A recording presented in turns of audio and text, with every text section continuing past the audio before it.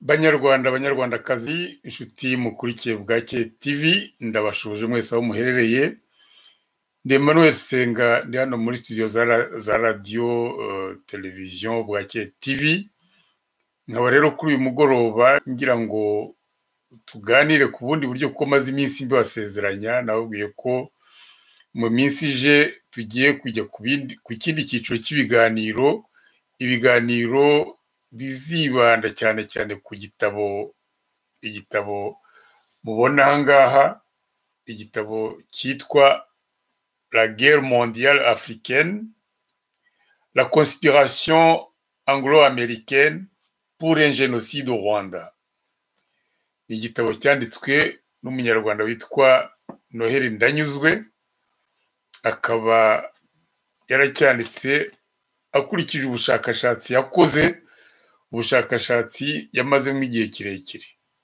Iki gitabo rero akaba cyarasohowe mu mwaka w'ibihumbi bibiri na cumi na kane ariko kikongera gusubirwamo mu mwaka w'ibihumbi bibiri na makumyabiri na rimwe ku buryo hari ibindi bintu yenda byakosowemo ntabwo tubishidikanyaho. Impamvu rero kugira ngo mbagezeho iki kiganiro ni impamvu nterwa n'ibikubiye muri iki gitabo. Ibikubiye muri iki gitabo ni ibintu bikomeye by'ingirakamaro eh, bitwereka intambara turimo gushorwamo muri kariya karere k'iwacu intambara z'urudaca abantu bakeka ko zizarangira ejo ariko bikaba atari ko bimeze. Ibi rero abantu bakwibaza batese ubivana ku ki? Jyewe icyo nzakora ni ukubasemura kino gitabo. Ariko nkaba naraganiriye n'umwanditsi wacyo kandi hari ahantu henshi amaze gutanga ibiganiro ababwira ko ibyo yanditse muri iki gitabo ntabwo ari ibifitirano ni ibintu yavanye ahantu hizewe hakomeye hakomeye ni ukuvuga mu byerekeye amabanga amabanga yavanye mu butasi yakoze mu butasi yakoze akabukora ku by'amashive cyangwa se ububiko bw'ingabo za uganda. Ibirimo rero tuzagenda tubi- tubigeraho ni ukuvuga ko icyo gihe ngiye gukora. Ni nk'aho maze kubona ko iki gitabo kiri mu bintu bikomeye. Ni nk'aho abanyarwanda bakibonye bakagisoma bose. Ndetse ntabibanye abanya- abanyarwanda gusa n'abavuga ururimi rw'ikinyarwanda ni ukuvuga abanyekongo batuye muri kiriya gice cy'iburasirazuba bwa kongo nabo bagirwaho ibitero buri munsi. Abanyayuganda bavuga ururimi rw'ikinyarwanda cyangwa se duhuje umuco bo mu majyaruguru y'u rwanda cyane cyane muri biriya bice bya kabare bya gisoro aba bose bumva ikinyarwanda. Mu gice cya kongo ho ni benshi cyane ni uguhera muri muri regiyo ya sud kivu ukazamura muri regiyo ya nord kivu. Hari abanyarwanda hari abandi bakoresha ururimi rw'ikinyarwanda eh, nk'iyo dufasha abanyamurenge tugafata abandi ba- bavuga ba- ba- bim- bimukiye muri kiriya gice cya kongo imyaka myinshi cyane. Abo bose bumvira ururimi rw'ikinyarwanda kandi barakivuga. Kandi abo bantu bose iyi ntambara ivugwa muri iki gitabo irabareba. Irabareba cyane.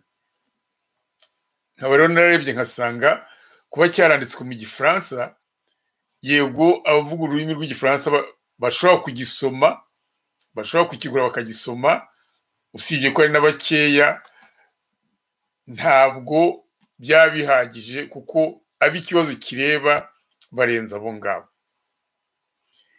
Ikindi kuba cyanditse mu gifaransa kikaba kizashyirwa no mu cyongereza nk'uko mugenzi wanjye noheli ndanyuzwe yabivuze no mu zindi ndimi nibishoboka ni ukugira ngo n'ayo mahanga yagize uruhare mu kaga ibihugu bya afurika birimo kunyuramo kuko nimureba uko tuzagenda tubibona ntabwo iyo ntambara ari iyo mu rwanda gusa.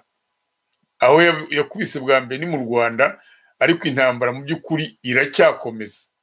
Ibyo tuzabibona. Nagira ngo rero mbabwire ko eh, kubera yenda igihe nzajya mbona iki gitabo gifite amapaje ayanditseho gifite amapaje magana atanu na cumi n'atandatu. Ni ukuvuga ko kugisoma ukagisemura ni ibintu bizafata igihe kinini.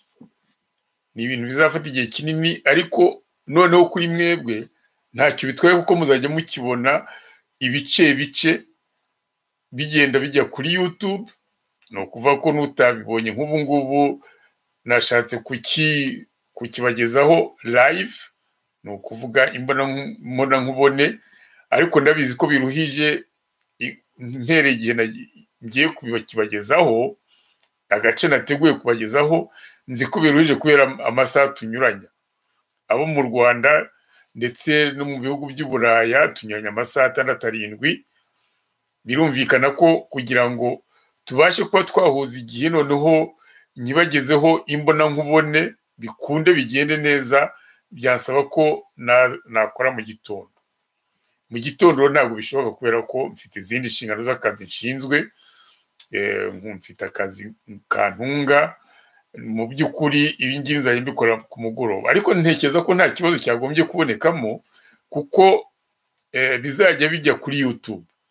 Nutabibona n'uyu munsi uzabibona bukeye kandi ibice bizagenda bi- bizagenda bikurikirana.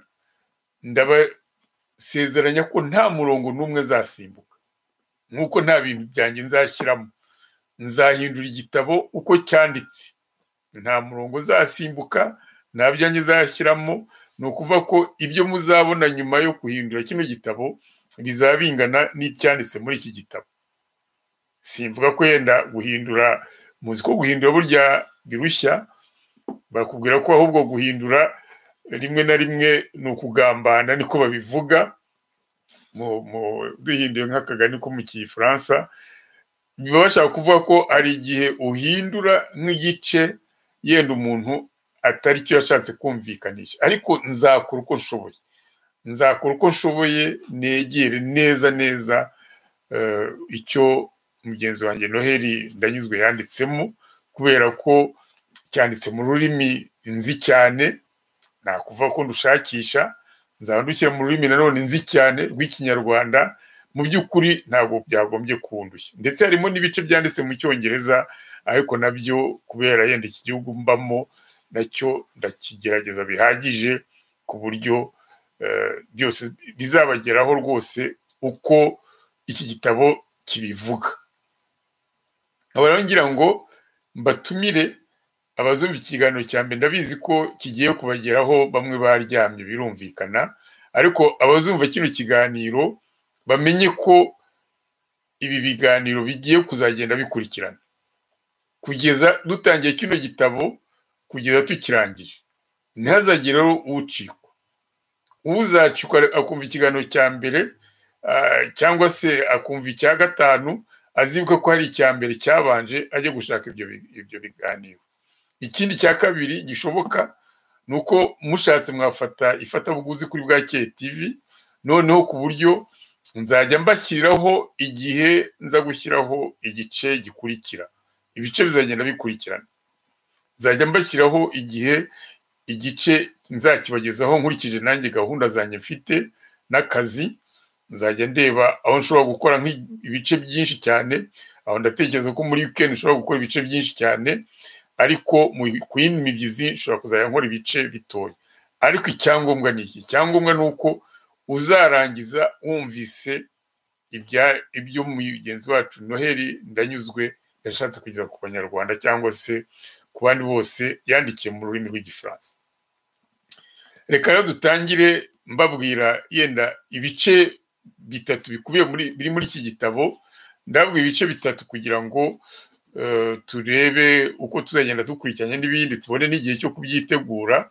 Ibyo bice bitatu nababwiye ko iki gitabo ubwacyo intambara y'isi yose nyafurika eh, yashyizeho n'ikindi n'undi mutwe wungirije uvuga ati ubufatanyacyaha bwongereza nyamerika kwirimbura abantu mu rwanda.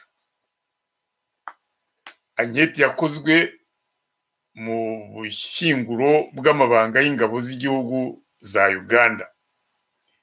Igitabo cyanditswe na noheli ndanyuzwe kigasorwa n'inzu y'ibitabo source Nil muri kamena bibiri na cumi na kane kikongera kigasorwa bwa kabiri n'iryo capiro nanone mu kwezi k'ugushyingo bibiri na makumyabiri na rimwe.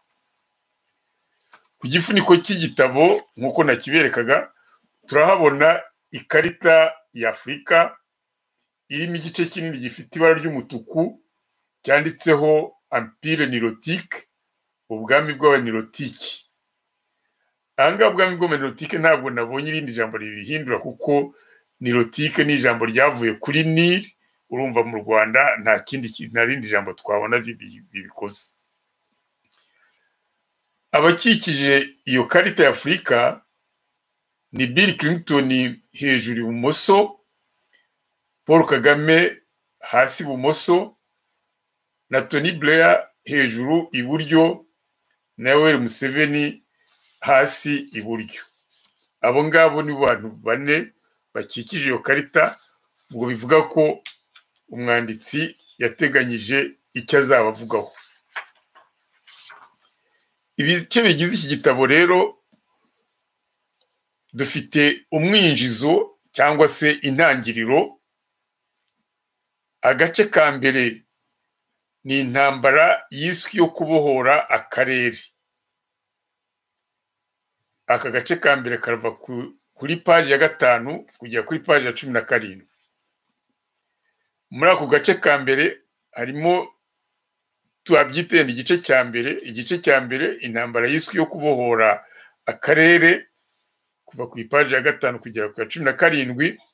Harimo agace ka mbere umwanditsi yise umusaruro w'ishumikwa ry'akarere. Umusaruro w'ishumikwa ry'akarere. Ni kuva ku rupapuro rwa makumyabiri kugera ku rupapuro rwa mirongo itatu.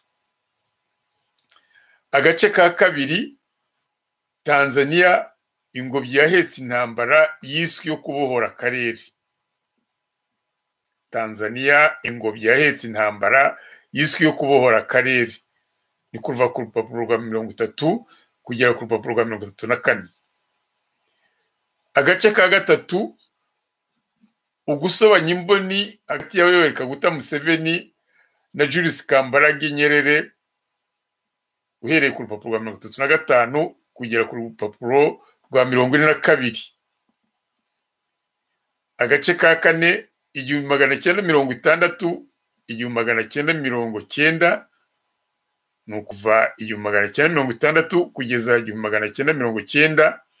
Imyaka mirongo itatu yo kongera gushyira afurika y'abirabura mu bucakara bikaba biva kuri ku rupapuro rwa mirongo ine na gatatu kugera ku rupapuro rwa mirongo ine na karindwi. Agace ka gatanu france fano icyitegererezo cya yoweri kaguta museveni ni ikibazo.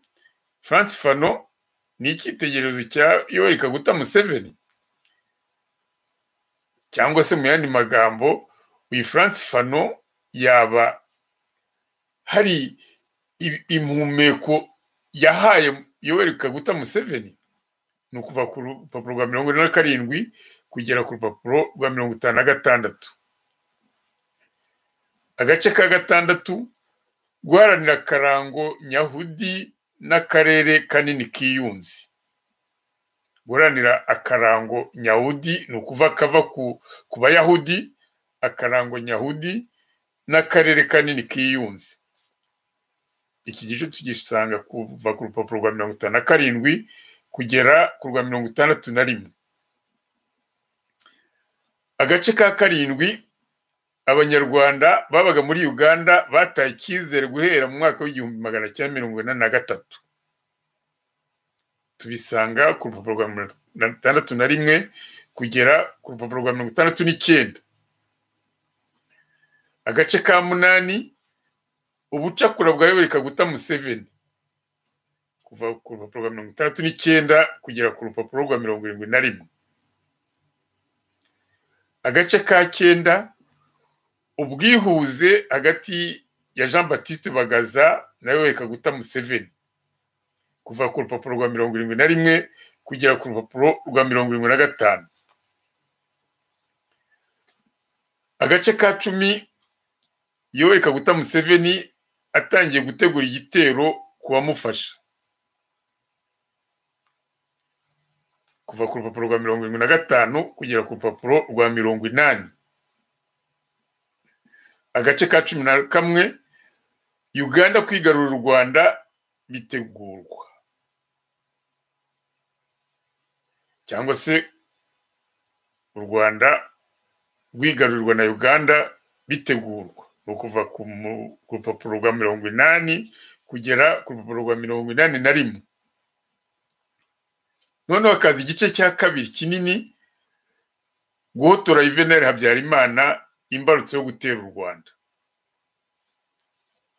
Ni igice cya kabiri kikagira igice cya kabiri cya mbere agace kamwe ka mbere gushyiraho abagize itsinda rizica perezida habyarimana.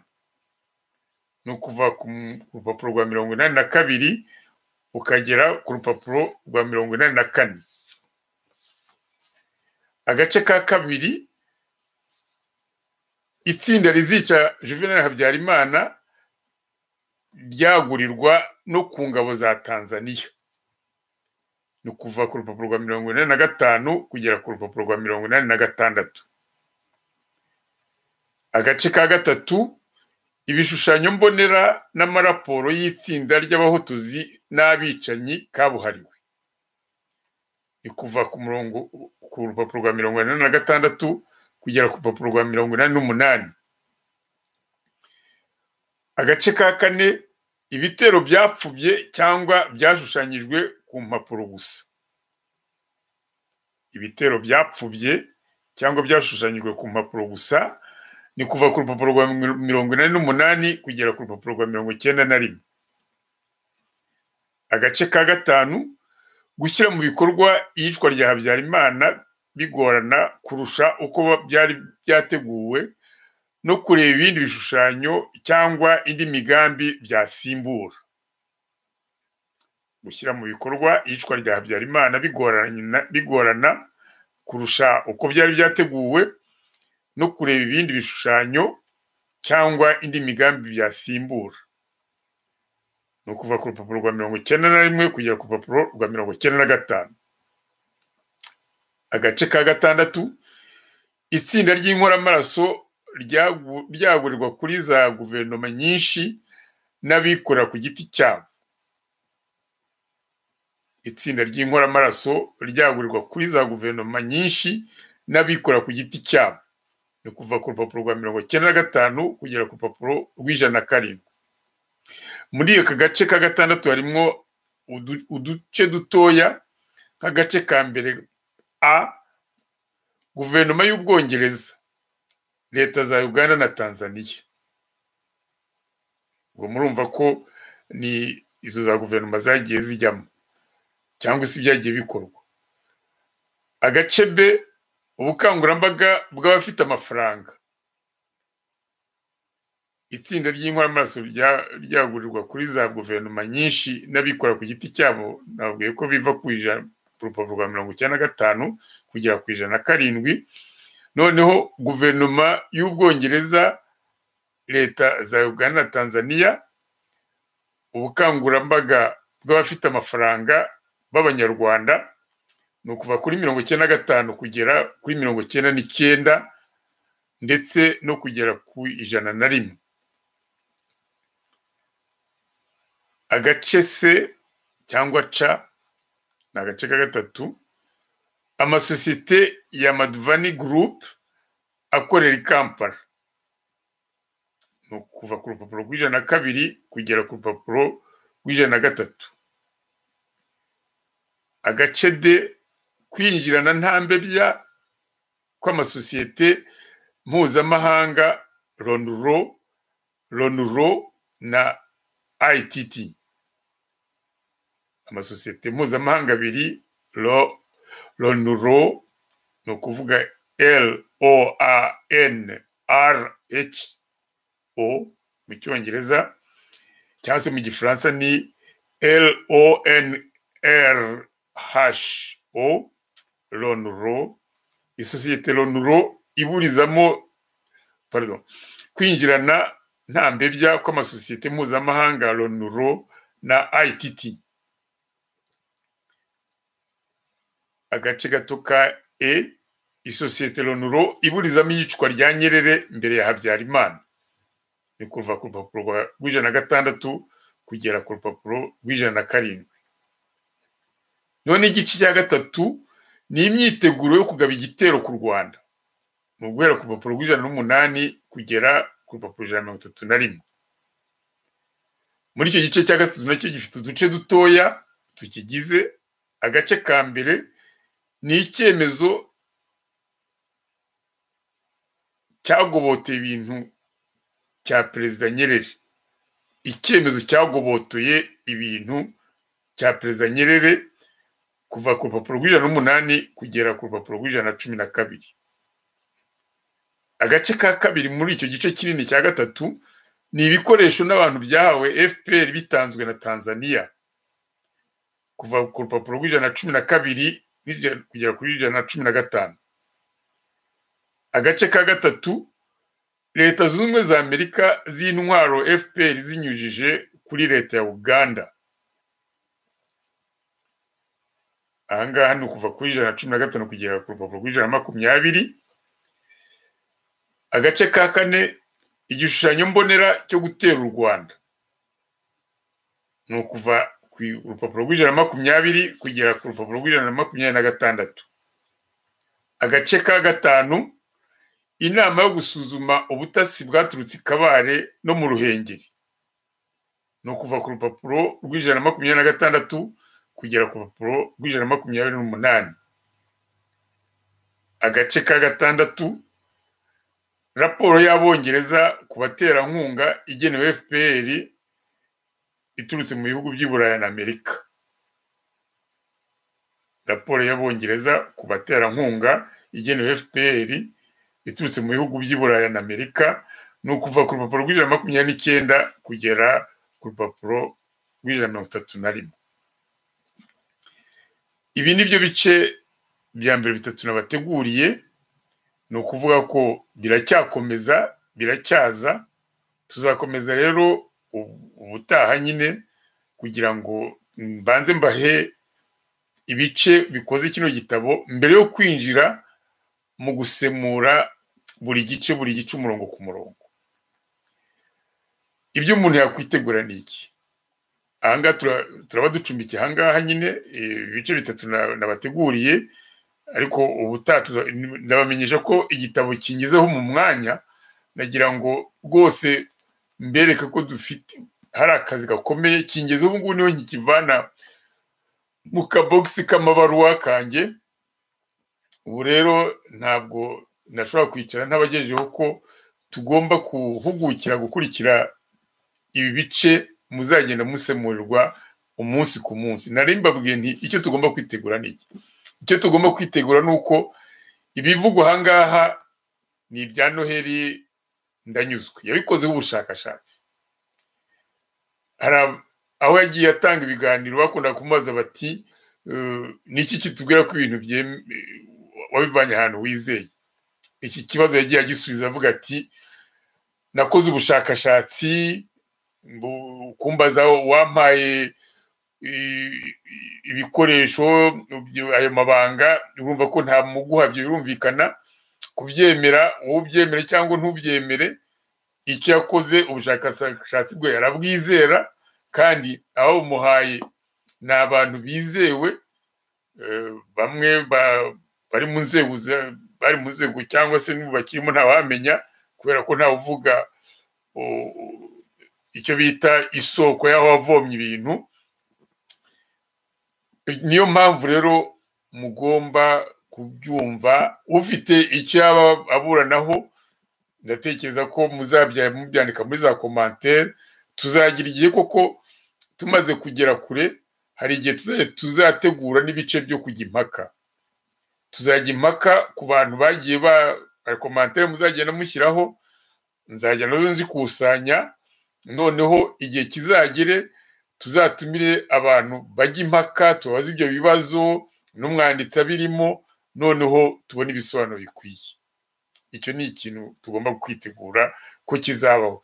Ikindi tugomba kwitegura ariko kidakanganye ni uko nyine hari abazabarwanya ku buryo bwo kubagezaho kino gitabo kubera ko birumvikana ko hari abantu bafitemo inyungu z'uko abanyarwanda n'abakoresha ururimi rw'ikinyarwanda batamenya imigambi mibisha nk'uko tuzabibona yateguraga kuzagira leta cumi n'imwe zikaba igihugu kimwe kandi muri icyo gihugu kimwe ntitumenye uzakiyobora akazajya ashyirwaho n'abampatsi ibihugu mutekereze namwe mu mwaka w'ibihumbi bibiri na kangahe aho tugeze barimo gutegura ko ubwigenge igihugu cyabonye kirushye kubera abarwanashyaka babonye ubwigenge bw'ibihugu byacu noneho tugasubizwa mu bukoroni birumvikana ko abafitemo inyungu rero barahari ntabwo ibyo si ibanga.